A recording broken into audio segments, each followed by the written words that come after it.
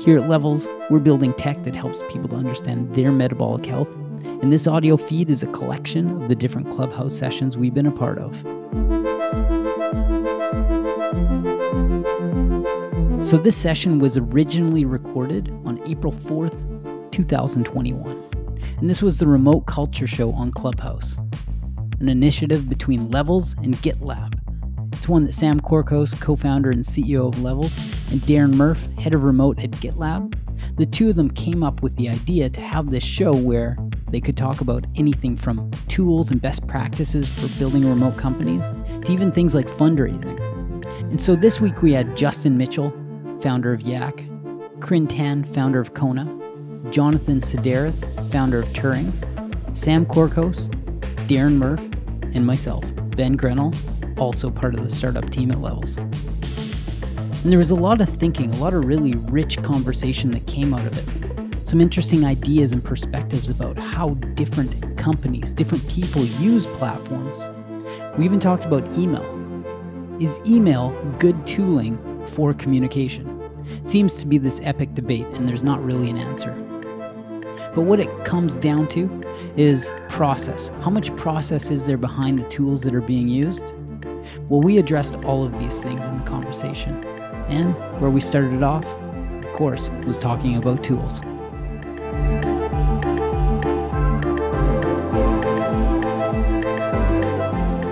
Tools are tools, and you can't really build a house with a single saw or a single hammer. It just doesn't work that way. And the more that you try to force one tool to do one job, sometimes it doesn't do the job that you need to do.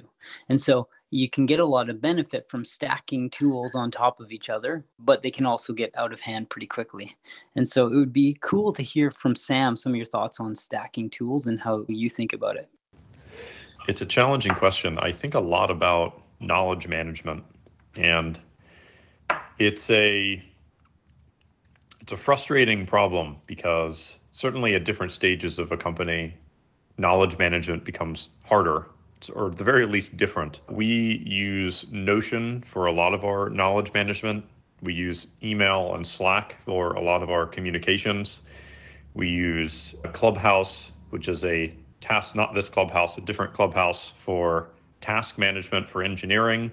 We do a lot of our other task management in Notion. There are a lot of different tools that do different things well. We're exploring using Basecamp for a lot of our task management and communication, which also has some knowledge management. I know Miz, who's listening and now, he's put together a pretty good walkthrough on how we might switch over to that. But I I put a lot of thought into knowledge management broadly, and I'm I'm especially curious to hear how other people manage it because I I remember Lenny Rachitsky posted something on Twitter a little while ago on how people do corporate knowledge management. And it was interesting. It has something like 100 responses. And I think 100 of those 100 responses just mentioned a tool and not a process. And like they said, we, we manage all of our knowledge in Google Sheets or Google Docs or Notion. But process is really what solves for most of this. So I'm I'm especially interested to learn from others on the on this event how they what process they use and how they manage knowledge and comms. I think that's a really interesting point. I'll just chime in to say like I think the best tools push you into a process without you even realizing it. So totally. I, I 100% agree on that point. I just think like it's funny. I talk about Yac a lot as like a, a app, but I'll specifically always mention to people that as much as it is software, it's a way of working. Like it's a different system of you know processes and communication rules and regulations, how you communicate with your team. So I, I think for knowledge management, a lot of the best tools push you into those flows. Like I think Notion does that really well. They have all these templates that you can just like one click create and you go, oh, okay, so this is how I'm supposed to use it and then you just get kind of stuck doing that way. Mm-hmm. And uh, I agree 100%. And speaking of knowledge management, I in, when we think about tools, we actually think about workflows at Turing and like what problems we want these tools to solve. And for me, as uh, a founder of a company, by and large, there are three main sort of elements of, of tools that come up, at least in our company. The first is capturing the plan. I mean, capturing what you want to share in the best possible uh, format. I, I think Sam spoke about Notion and a few other tools.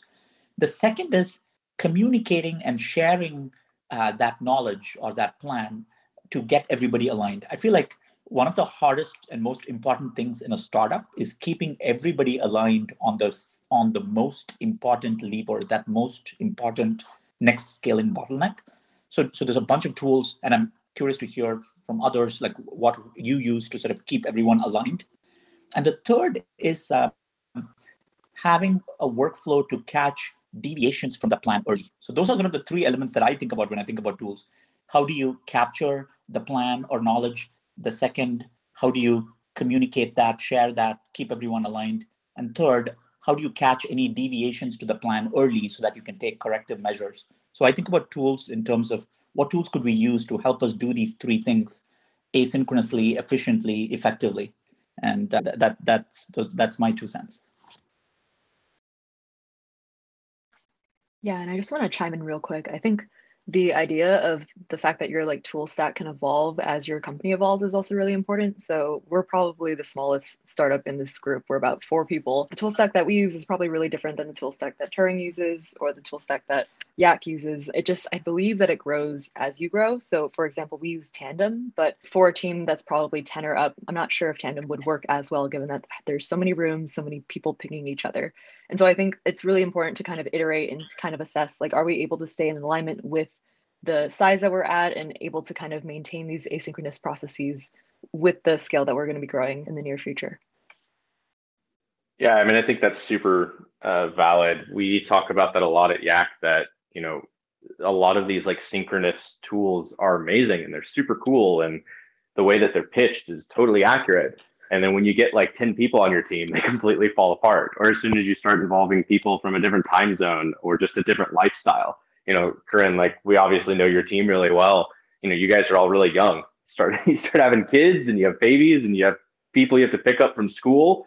You can't hang out in the tandem room anymore. It just doesn't work anymore. Sure. Yeah, I just I think it's super accurate what you said that you have to kind of evolve, you know, as your team evolves. And you know, one thing that I trumpet a lot when I, I've done a lot of talks on just like efficiency and productivity because like my main mission in life is to work less. I love working. I love what I do, but I don't like committing a ton of time to it. I like to be as super efficient, get a ton of output and really monitor my input. And a lot of that comes down to my tool stack. And I talk about this a lot when I do these kind of presentations is just investing in tools put $4,000 into your MacBook and buy the top tier best MacBook you can possibly buy because it'll be faster. it'll load things quicker. You won't be waiting on something to render and just sitting there not being productive because the amount of time that you would save just by having that nice MacBook, you can, you know, double, triple, 10x your, you know, output just by being faster. And that means more money in your pocket typically, especially, you know, I come from an agency world where time kind of equals money. How much time are we spending getting customers, doing work for our customers? And a lot of that has to do with just being efficient. So we have all these tools and this kind of stack of productivity workflows, um, as Jonathan kind of said, that we invest in. Like we put a good amount of money into these tools, and they're not just SaaS tools. Like I have a bunch of Mac apps that just level me up on my Mac to make me faster. And I'm constantly building these Mac apps myself just to keep myself going faster. Question for you, Justin. When should we think about using a tool like Yac with asynchronous communication versus something like a Slack or versus these synchronous video conferencing tools like a Tandem or a Zoom? Like, how do you think about workflows? What problems are best solved with async, and what problems? How, how what do you recommend sync? It's a great question. I mean, I think there's a time and place for sync always. I think first time meetings should be, you know, video calls or phone calls because it's a great way to you know introduce yourself for the first time but really yac starts to become incredibly valuable once you're not all perfectly aligned on the same schedule there's a lot of things that could cause that like i said maybe it's just family life you have kids you have to pick up from school at 3 p.m you can't make a meeting every day at that time you live in a different time zone that's a huge one we talk about kind of the inclusivity of yac and a lot of that has to do with different personalities, people who feel comfortable speaking up in a synchronous environment and, and don't, or even just people in different parts of the world. You can't ask your engineer to join a stand-ups call at 2 a.m. his time.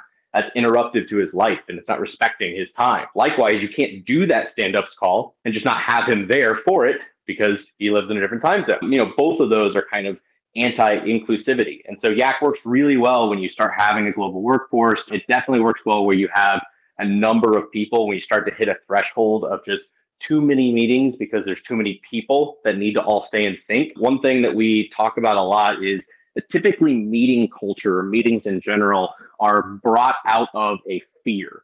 It's a fear of not being synced up.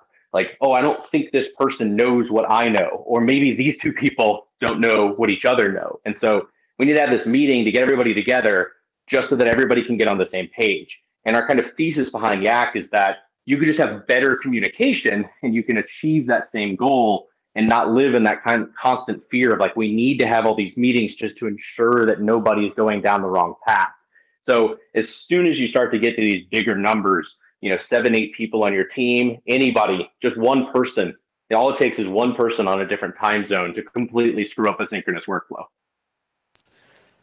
You know, one thing that I would uh, encourage leaders and, and startup founders to take from this incredibly rich intro conversation is that I think we're reaching a point where we aren't going to choose our tools so much for the productivity and efficiency gains. We're going to audit and choose our tool stack by which ones reinforce our values the most. And this is a much healthier way to choose what tool that you use because there are a lot of ways to get things done within a company. And in a, especially in a remote first type of setting where you aren't likely to have people synced up in the same time zone, you are more likely to have people with very diverse lifestyles and finding their identity outside of work. It's going to come down to which tools do we choose that reinforce the values that matter to us at GitLab, we actually use the GitLab platform to collaborate, and we have specifically built it in a way that forces transparency.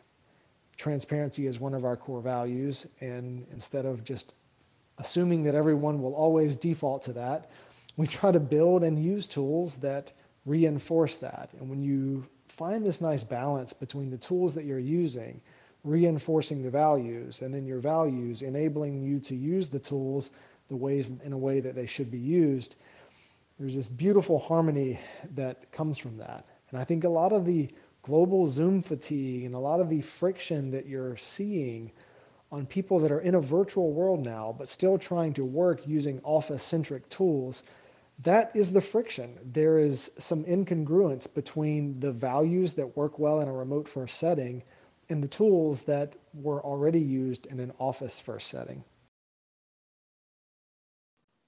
So, question on that, Darren. You're talking about using tools that align with your values, but are there certain tools that that are essential for remote companies and then ones that might be dangerous when used incorrectly? Like the thought is, I mean, you can you can take a tree down with a sawzall but it's not the right tool when you need a chainsaw, right? And so the same thought goes for like tooling that we might use in a company. Some might lead you down either an unproductive path or just the wrong path altogether. It's a great question. I would say choose your tools and use them in a way that become forcing functions. So I'll give you an example. We use Slack at GitLab. A lot of teams use Slack for communicating back and forth through text. But we use it in a very unusual way. We expire all of our Slack messages after 90 days. And the reason we do this is it is a forcing function for us to document and use GitLab, the platform, for our core collaboration tool. It essentially makes it impossible to get any work done in Slack, and that is exactly what we want to do. It reinforces a lot of our substantiating values by not making Slack a place that's just anxiety ridden, and another form of chaos. And you mentioned the cutting down the tree example, but, but here's the thing. What if your company really valued quiet time? And you said, you know what, we want to cut this forest down the quietest way possible. Well, for your company, the chainsaw would actually be the wrong approach. You may just want to equip everyone with a finely sharpened axe and say, this is quieter than using chainsaws. But if that wasn't something you valued, then maybe you use a different tool slightly differently. And that's why I say this is a very personal decision. And it really comes down to what your team aligns on in terms of value. What do you value? What is your forcing function? What are you trying to get people? How are you trying to get people to use a certain tool? You got to remember that humans are very inventive, dynamic creatures. So just plopping a tool down in front of them and assuming they'll understand how everyone else is using it could create some chaos. And so I've advised remote first companies that are introducing new tools to become more remote first to also add a layer of learning and development to make sure that people actually have a usage guide on how to best take advantage of these tools and use them in the way that your specific company wants them to be used.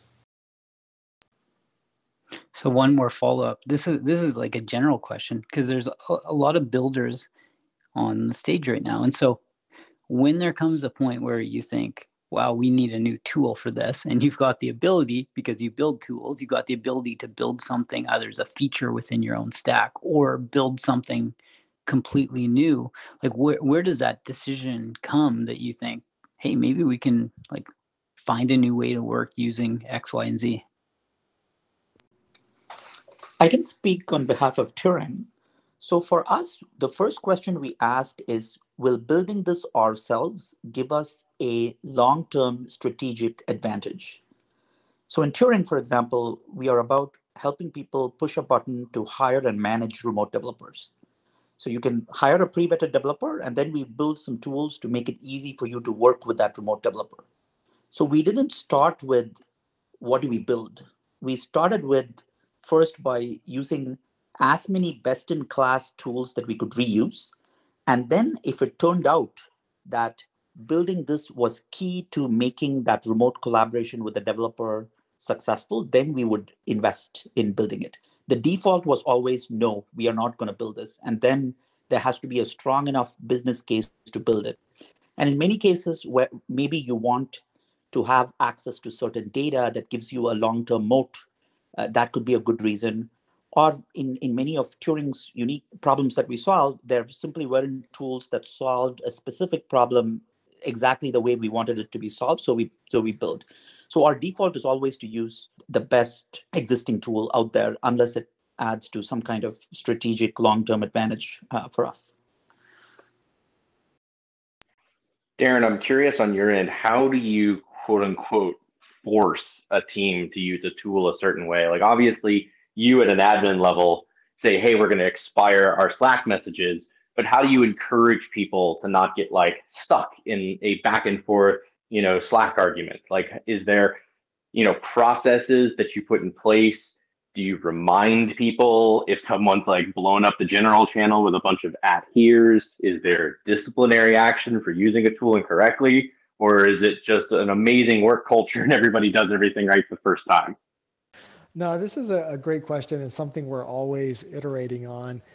Look, the heart of it is it, it, everyone at GitLab can answer everything with a link. So the fact that we're a documentation first culture really helps. So for example, if you see a new hire drop this four paragraph missive in a public Slack channel, right away you're like, oh, they they missed that on onboarding. They don't know that this is not the appropriate place for this collaboration to happen. And they probably don't know that it's going to completely vanish in 90 days.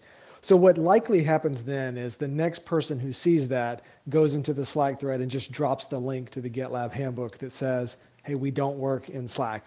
Please create a GitLab issue or a merge request. And it only takes one or two times before you just get it and you normalize answering with a link.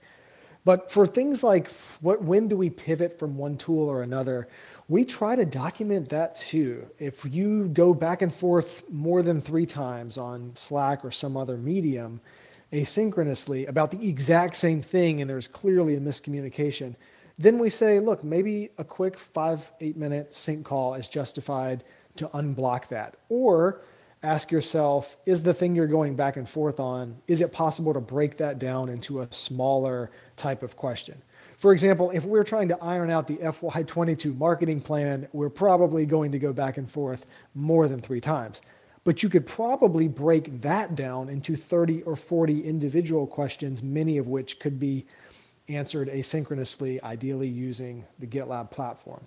So we try to document this as much as possible, and each time someone on our team finds a new loophole or a new um, series of events that hasn't been answered yet, we try to find the most efficient solution and then document that as well. So I'm going to at here at channel at Sam Corcos to bring up the epic debate to Darren's point of like when is the right time to transition to different platforms given the form or I, I, guess the type of communication that's needed. And so there is this epic debate around email and whether or not it's good tooling, whether or not it's a good or a bad communication platform. And I know Sam has a ton of thoughts on this. Yeah, I mean it's all uh, it's a relative question. I think relative to using text messaging or Slack or other synchronous tools that masquerade as asynchronous tools, it's much better. But it does have downsides. And this is something that we've seen on the team where oftentimes there's a lot of communication related to a particular project that happens in email that not everyone has visibility into. And decisions get made on our communication platform that's totally separate and disconnected. And that, that causes problems. Things get spread into multiple conversations and things get confused. I don't know, we're, we're actively considering using something like Basecamp, which would consolidate a lot of other, it would consolidate a lot of our communication, our task management, and some of our documentation as well. So I think that it's one of the things that I've noticed in conversation with people is that I think there's an underlying assumption that one of the reasons why people really dislike email is because I think most people don't appreciate the baseline overhead that comes with running a company and the amount of communication that is strictly necessary. So, email is not a bad tool in and of itself, but most people in a leadership role need to spend several hours per day communicating with people. And whether that's done in email, whether that's done in GitLab, however it's managed, it, it's a it's a much bigger piece of overhead, and it can accumulate very quickly. And it's it's often a lot more than people are willing to put into it. I think it, it's uh, to to add to Sam's point. It's also helpful to set uh, protocol or etiquette around some of these different channels and to define them clearly. For example, for me, I use Slack for for a discussion that probably spans the course of a day, like several hours during that day. I use email when it's uh, a discussion or a thread that might span multiple days or a week. The, the expectation is that you don't have to like respond right away. You can respond respond anytime over the next uh, couple of days. Whereas with Slack, the expectation on response time is a lot uh, shorter. And I have text messages and phone calls for like an emergency channel if somebody wants to reach me for something really urgent out, outside of sort of even like nights and weekends, something like that. Like so, I use text and phone calls for that. So I kind of I, I feel like one thing that helps is setting these expectations around these channels around when to use what, what the average response time is likely to be. Uh, I think that also goes a long way. Sometimes the, the ambiguity leads to needless stress for people. I think that's also a, a, culture thing, kind of to Darren's earlier point, is you know response times and the way that you deal with different forms of communication. A lot of times comes down to a culture level, and I think the base guy, camp guys talk about this a lot. And one of the things that we had in mind when building Yac was specifically building a culture around an it can wait mentality, which is something that Jason talks about in, in one of the books. Uh, I think it doesn't have to be crazy at work. And a lot of that has to do with pushing people into this new, exciting idea of like maybe instant gratification won't happen, right? Maybe you won't get an answer right away and you'll have to wait. But what we've tended to do inside of our own company is build a system around like, don't let other people be a stopping point for you. And so a lot of our tasks are set up in a way that ensures that like other people aren't waiting on someone else to either make a decision or commit some code or answer a question and everybody can kind of still work independently and then come together you know and you know merge all that stuff at the end versus this waterfall effect of like oh well i sat here and twiddled my thumbs for three hours because we use an async messaging tool and somebody didn't get back to me. And so I wasn't able to be productive. And so a lot of what we've worked on is specifically having systems in place that encourage you to like send your question, go off and do something else, maybe even just take a walk and relax for a little bit so that you can come back and give that person enough time to respond. And we just have a culture around, you know, kind of average response times. I'll, I'll queue up Corine here a little bit because I think that maybe there's an opportunity just to talk about culture and tools around culture and specifically, you know, like how your team prefers to communicate or be communicated to. For sure. And perfect teeing up. I think so. For context, Kona is a culture platform for remote teams, and we have basically based the entirety of our tooling and features on feedback that we've gotten from culture focused managers. At this point, we've talked about 500 of them since last last January. Overall, I love that Darren mentioned how tooling needs to be value based. I can say that like like of course you can choose among like a whole toolbox of tools, but when it comes to like asynchronous communication and an in, it can wait mentality, you need that kind of foundation of trust and transparency. Like I think Duis had this great quote where it's like you only get flexibility when you stop monitoring your employees and when you stop expecting instant responses in order to ensure some sort of alignment. So if you actually trust your teammates, which is easier said than done, you can actually start to build processes, enforcing factors that reinforce that trust. What we mean there is that the ability to kind of be vulnerable, admit when you need help with something, the idea that you can actually like show up as your full self at work, all these things contribute towards that overall level of trust and this trust needs to be maintained. I think the reason why so many folks tilt towards a meeting first culture is because they expect that face-to-face time will allow them to reduce the amount of transactional talk allow you to kind of see who you're talking to and treat them like human. Unfortunately with the onslaught of zoom meetings we see the exact opposite. Folks that are so used to be on these zoom meetings actually just kind of blaze right past go straight to the agenda items and just knock it out boom boom boom Instead, if we're actually able to sort of slow down, ask how folks are doing, um, wild concept. If you ask how folks are doing and really prioritize how folks are like, how they are emotionally, we're actually able to realize that a lot of the communication, a lot of the miscommunication has to do with a lack of context and not necessarily the nature of written communication itself. So it's all about getting context and it's all about treating people like people.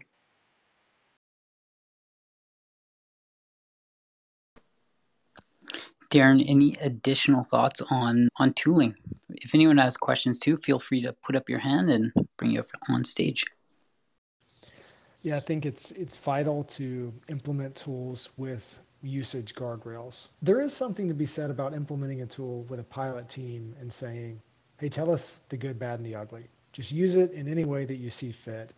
But when it's going to be properly implemented to set culture, like was just mentioned, you really do need rails around it. Deleting Slack messages after 90 days sets a certain culture at GitLab. It makes sure that we spend time in Slack in the parenting channel or the hiking channel or the mental health channel being humans to one another instead of trying to intermix informal communication and workplace operations in the same exact medium. And this is really critical in a remote first company. All we have is a digital office, so we have to make sure that they are properly compartmentalized. I would say leaders in general need to understand how much tooling impacts culture, whether you want it to or not. So be as intentional as you can because Jonathan's earlier mention on I use Slack for discussions within a day, or I use email for discussions within a week, text messages for urgent.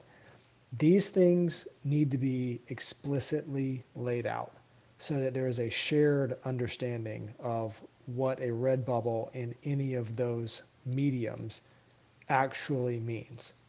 Because leaving that unsaid is the source of great mental anguish and anxiety. And it generally hurts the most the people who can least afford for this to happen, especially for people who have never worked remotely before. So they're doubly on edge that they're going to be monitored and watched and need to be uh, incredibly responsive to everything.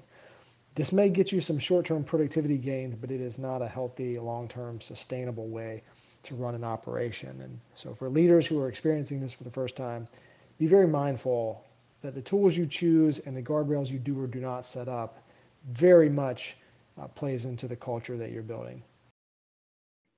I think there's a ton to be said just about encouraging your team to go red on Slack. I think, especially what Darren just said about companies or teammates that have come from companies that had a little bit more of the Orwellian style monitoring systems where someone was always checking to make sure you were online, you were always being productive. I think there's a lot of employees that will be hired in the next year that will be very used to that and will not understand that not every company is this taskmaster that needs them to be constantly online, constantly working, constantly typing away. And that sometimes just leaving for like an hour taking a walk or sitting by the lake for lunch and just chilling away from a computer is massively, massively conducive to better productivity.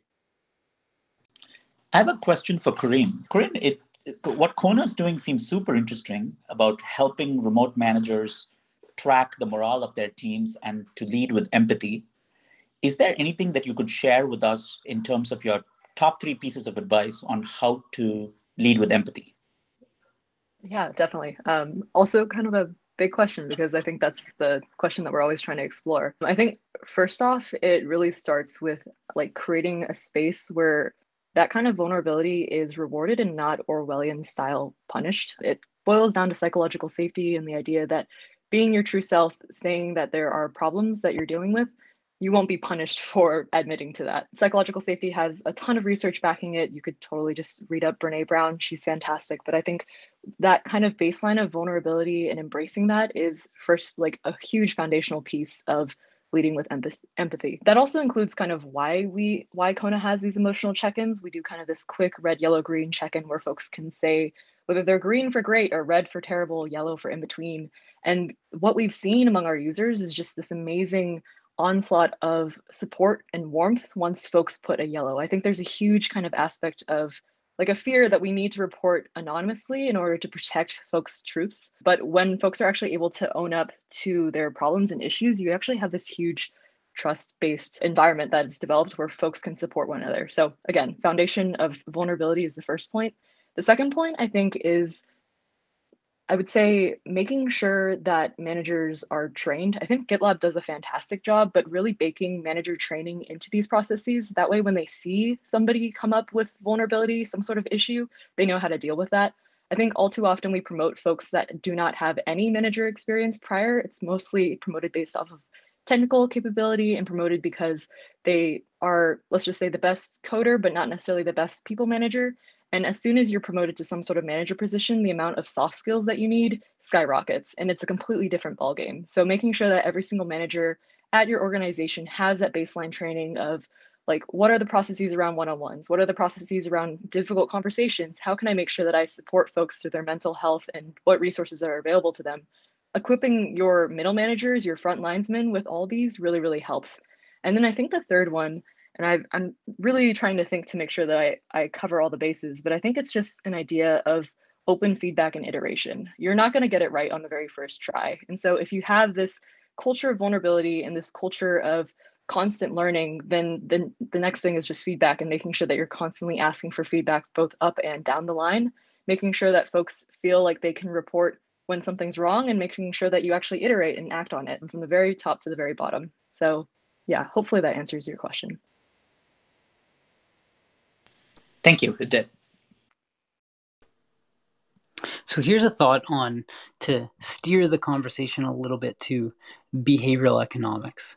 So we know that when given too many choices, the brain gets overwhelmed. It's apparent. Um, it's what happens with a lot of products when they get too many features bolted onto them and then people don't even know what to do with the tool. It's what makes WhatsApp successful. It's what makes Instagram successful because it is this for that. And so like Justin, you've got this opportunity to basically build any feature you want on top of Yac, or you can decide how to keep things pretty streamlined. And what's your thought process like when you're building the platform? How are you thinking about some of these features and how people might use it, or even how you use it internally as a team? Yeah, I mean, we're constantly discovering this too, right? So we're constantly talking to customers, finding out, you know, how they're using it, what they're doing with it you know, I think a great example of this is we launched Yac Rooms, which is a synchronous tandem style experience inside of the desktop app. And we launched it and just didn't even say anything about it for like a super long time, just to kind of see would people notice it? Would it be something that they'd be interested in? You know, do they need it on mobile? You know, what do they think of the the feature set? And just didn't even like announce it or put any information out there and kind of watched users roll into the feature and then give us feedback about it. And that helps us decide like, okay, so if it's going to be useful to them, they need it on mobile, which I think is something that we've heard. And, you know, we've also not really put any more engineering effort into it because we only had like four or five people end up utilizing it. And it also felt a little off brand for us as an async tool. But it took us 45 minutes one day on a Monday to spin this up and see if people would like it. And so we experiment a lot with little things like that, seeing how people use it. I think one of the biggest examples of how Yac has kind of evolved from the very beginning is, you know, we started noticing a lot of people using it with people that weren't just on their internal team. You know, we we talk to Darren all the time on Yac, and he doesn't work for Yac, but it's a great way for us to get feedback from him and have him give us some advice or information even about events and stuff like this that we should join without hopping on a phone call with him. And that kind of information has started to decide how we you know build a product out what things we focus on. I think what you said is really valid. The more you add to a tool the more complicated it gets. As kind of quasi ceo cto i also have to balance just how messy the code gets. You know it's hard to maintain a product that has suddenly become spaghetti because there's so much going on. So a lot of what we're doing is staying you know as close to the path as possible of like an ultimate kind of like north star goal of getting people out of meetings and we just have to decide, you know, is this feature aligned with getting people out of meetings and just having better communication? Or is this a fun social feature? One of the big things that we've seen happen is a lot of communities and mentors and coaches have tried to get on the Yac to have kind of their community inside of an async voice messaging tool. And immediately we get all these requests for moderation and admins and one way like channels, the channels where the you know head of the community can blast a message out but nobody can reply, and you know hand raising and all this stuff for remote AMAs. And we've had to kind of ignore a lot of those features to go that doesn't align with the core mission of you know getting people out of meetings. It's a great use case, but it's not necessarily what we're focused on right now. And that's you know really just comes from having that north star metric that we're going for is we want to get people you know Friday off we want them to have so many, so much more time back in their week that they get to take, you know, a full day back out of their schedule. And all of the, you know, kind of features and buttons and presses and everything inside of the app kind of has to go through that filter of are we aligned on giving people more time back in their day, less meetings, letting them take off Friday every week, whatever it is to kind of like reduce that load of meeting culture. Yeah, I, you know what's very interesting about that I think the next wave of great tools are going to be the ones that give you more time back. That's going to be the new North Star. And so, what I mean by that is tools that help you work less, but not just work less, waste less time en route to the results. And the, the seismic shift you're seeing here is when you had most of the world co located. The moment that you cross that threshold into the office, from nine to five, the office owns you. So there's not a lot of additional cognitive load in adding yet another meeting or making your day somewhat more inefficient. Because if we're being more inefficient day is like, well, that's less that I have to do here in the office. It's not like I can do anything else better with this time anyway. But now when you have tens of millions of people put back in their homes, they can they see freedom. It's right outside of their window everyone at all times can think of a lot better things to be doing with their time compared to wasting it en route to results. And that is going to become a chorus of voices that gets louder and louder and louder. And you're already seeing it with some of the companies trying to force entire teams back into the office or being more rigid in their approach to hybrid. There's going to be a reckoning. People are going to want tools that help them waste less time be more efficient so that they can be people. They can spend their time in their communities with their families doing things other than being inefficient at work. And I think that's a, a, net positive for society. But I don't know if we would have gotten to this place so quickly without the genie out of the bottle uh, if you will, with people recognizing how much freedom there is when you aren't just chained to the office day in and day out. Yeah, I mean, I think there's a couple amazing points in there, Darren. One is this idea of just spending more time with your family. I know when we talked at the very height of the pandemic, you had made this really interesting point that just simply by eliminating the commute, you give people more time back in their day. And that has nothing to do with productivity, efficiency, tools. It's just, it gives you more time with your family simply by not having a two way commute every day. And I think that there's this interesting dichotomy that we struggle with at Yac, which is that we built a tool that I actively do not want you to use a lot, right? Like the goal of Yac was to spend chunks of time communicating and then getting back to work so that you can log off at 5 p.m. and go enjoy your life instead of being in back to back meetings and then getting the bulk of your work done from 5 to 8 p.m. because that's the time everybody's offline and no longer in meetings. And so we have a, a product that obviously we need to satisfy, you know, daily active user requirements and activity overall to make investors happy. But at the same time, I've built around this kind of thesis of one and done. Send your message, shut the app down, get out of it, and get back to work because we don't want you just dinking around all day in our app. We want you actually getting stuff done so that you can go home earlier.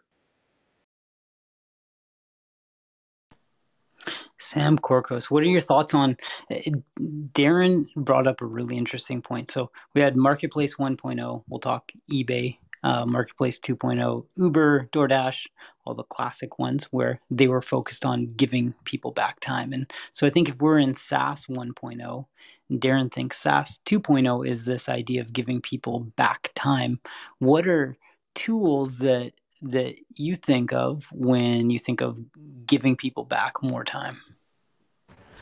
Yeah, I think of it much less in terms of tools and a lot more in terms of process. Establishing the cultural norms around asynchronous communication are really important. And I think the I think it's it, it cannot be understated how much more expensive synchronous time is than asynchronous time. It, it's it's emotionally much more comfortable to schedule a meeting and to chit chat, but it does take up a lot more time. And so I, I'm a big believer time is the time is the fundamental constraint. It is inherently zero sum. A lot of other things are scalable and time really is not. So tools like Yac or uh, Loom or other tools that allow you to turn information into content.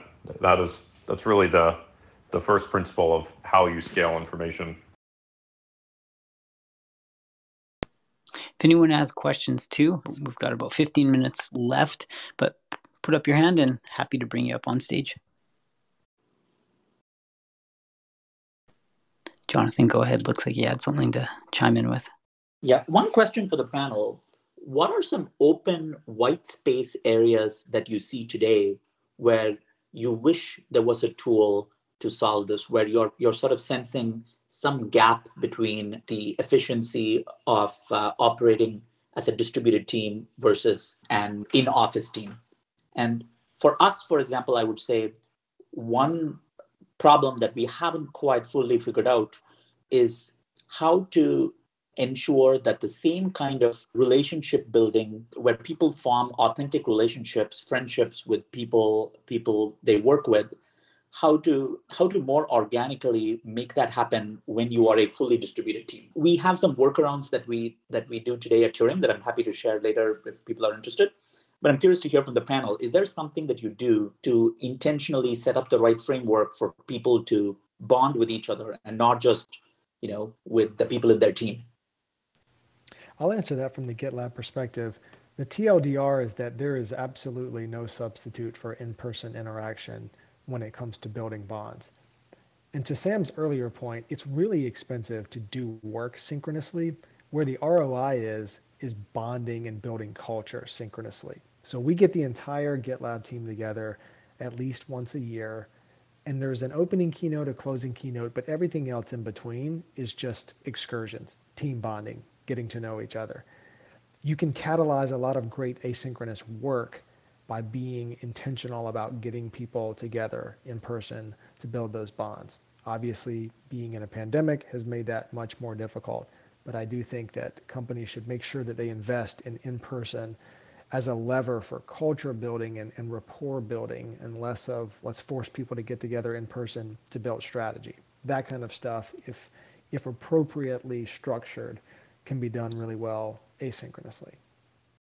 Yeah, we do the same thing. We have once or twice a year, we try and do a, a, retreat where we just go all hang out for a little bit and spend some time doing non work things. Another thing that I would say, and you know, Jonathan, I think it's interesting. I think there's a ton of tools right now trying to, you know, I guess build that kind of relationship aspect of work, typically in some kind of gamified format. You know, one thing that we found that has helped very recently, like uh, I think Amelia's in this room, but this is just like a very very recent last few weeks thing is every stand-ups day so we have a stand-ups channel in yac. Every morning whenever it's morning for whoever that team member is they just do a quick like maybe one minute stand-up of what they did yesterday and what they're doing today all over voice. And then one person randomly will do a question of the day. And that ranges from you know what's your favorite guilty pleasure food? What's your what's a childhood memory that you you know love and cherish? One was like what's the what's a food that like reminds you of a, a relative? And so every day we have this question of the day that somebody decides what we're going to ask and you know we kind of like share that intimate detail with everybody on our team. And since it's async I, I like that no one really feels like it's wasting their time. They can kind of like listen to these, you know, question of the days while they're out for a walk, while they're driving in the car, you know, maybe when they pop in for the sh- with a shower at the end of the day, and they kind of like naturally absorb this information. And it's a great way to get to know everybody else at the company, and it's a great way to kind of get those more intimate details in a format that doesn't feel like it's taking time away from everyone, which I think a lot of like culture building tools sometimes feel like a um, chore to the team. And we found that it's been super helpful for our team to do those. Yeah, I don't think I can emphasize the importance of asynchronous water cooler chats enough. When we were first building Kona, we expected it just to kind of be an emotional wellness tool where you're kind of checking in with your emotions what we didn't expect is it for for it to become like this huge water cooler conversation tool. When somebody marks yellow, oftentimes the things that make us yellow, feeling meh, for example, have nothing to do with work. One time somebody said that they stepped in dog shit. Another time somebody like lost their toenail to their kid's bunk bed uh, while walking past. So it's just some of these hilarious, unfortunate things that happen that allows the team to kind of bond over and it's created enormous kind of results for our target companies like hubstaff for example. They have their customer experience team spread across 19 different time zones and they don't really have a moment for that kind of in-person meetup face-to-face meetup. They use kona to basically check in and the ability to say like hey this is what's going on in my life today has huge impacts for how a team can build relationships. So yeah team building is a super super essential part of just trust building and a team's culture actual LOLing like crazy. two examples. It's great. Yeah, it, it's an interesting thing. The ace, what there are things that you just can't do synchronously or asynchronously. I think a lot of culture related stuff. I, I found that a lot of a lot of the tools that I've seen come out to solve these problems are really taking they're taking concepts from the synchronous world and trying to shim them into the asynchronous world. And I, I think it's it can be really challenging. I, I used to host in a pre-COVID era, I used to host weekly salon dinners with like eight to 10 people in person. And when COVID happened, I wanted to keep doing it. And so I switched it over to Zoom. And it is really hard to do a three hour Zoom call talking about philosophy. it, it feels like work and it was painful. I did it a couple times and realized that it's just you you can't do that format on Zoom. It, it, it's not possible to make it feel like it doesn't work. So I think that much like what Darren said, there are there's a time and a place for every type of tool, and doing things synchronously for personal development and team building is uh, I, I don't know I don't know if there's a substitute for doing things synchronously that way.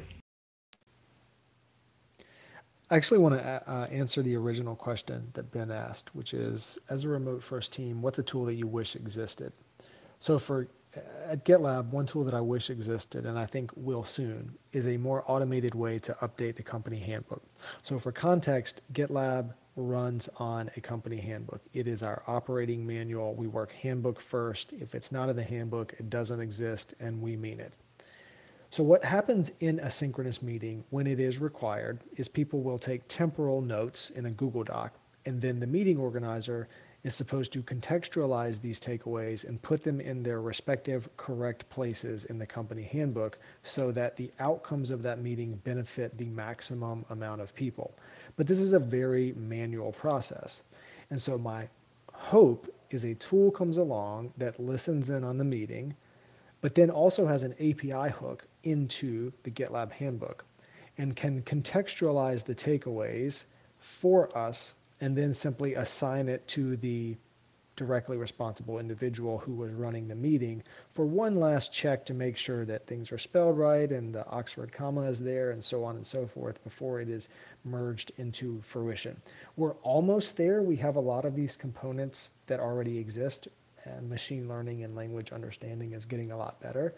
Raw transcriptions are still a bit dubious, but I, I think we're almost there.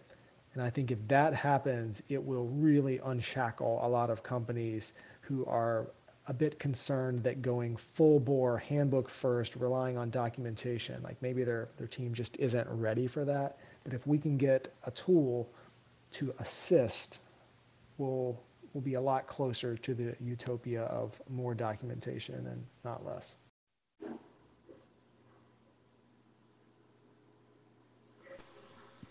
Jonathan, looks like you have something. Your microphone's off there.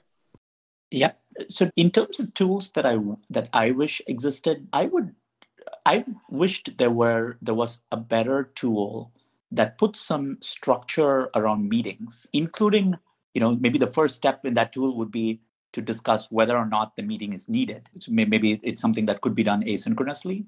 And then guiding the person who's driving the meeting into filling out some key elements like okay is this a meeting to make a decision? Is this a brainstorm meeting?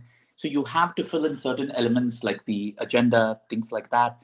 And what do you hope to accomplish in the meeting? And integrating that with some really good recording transcription search etc so that the meeting is kind of captured for posterity so that people who didn't attend the meeting have excellent meeting notes. So, so with really good speech to text and some some information extraction from the meeting including action items that came out of the meeting. Maybe it's, it's automatically captured so that you don't need like imagine having a really competent note taker and a really good somebody who knows how to run really good meetings ensuring the right things are done automating as much of that in the software itself you know tracking talk times and and, and things like that.